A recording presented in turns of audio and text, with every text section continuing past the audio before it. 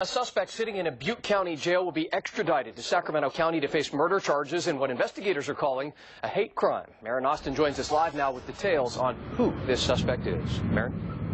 Well, we found out today, Eric, that the suspect faced previous charges of attempted murder. That was back in 1992 in a different state. He served time for about 10 years, then was on parole. And now we're finding out, as we know, and as I just mentioned, that investigators here in Sacramento believe that he murdered someone right here in this parking lot at Home Depot. I'm very shocked because that dream it was like gone. When Hassan Alawsi moved to America from Baghdad to be free, this wasn't what he had in mind.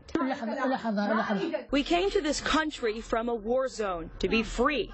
Yet Hassan is not free now.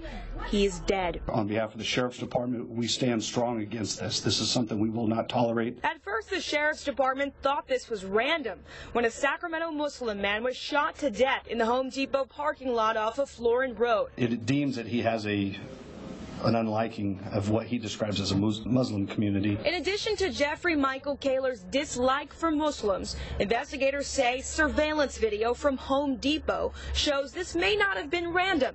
Caylor is shown here on video stalking Alawsi for several minutes leading up to his death.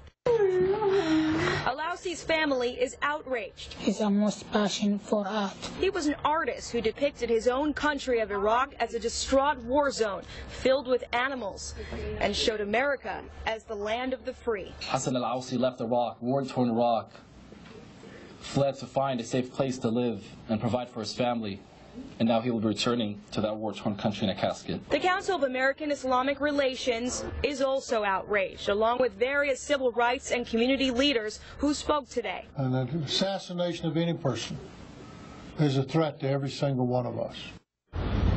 Now, Alawsi is survived by his brother and his sister, who you heard from in that story. As far as we know, they will be returning to Iraq on Sunday. Marin, thank you.